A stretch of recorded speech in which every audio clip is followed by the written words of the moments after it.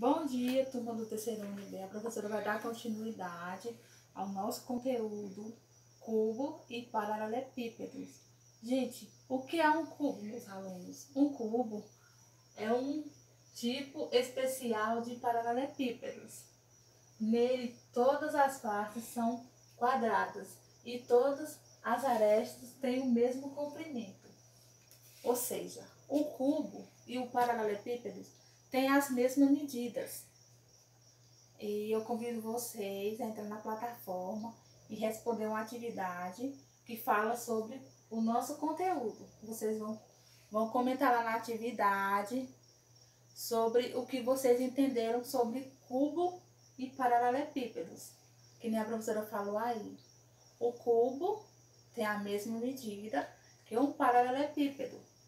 Porém, existem outros paralelepípedos fora o cubo.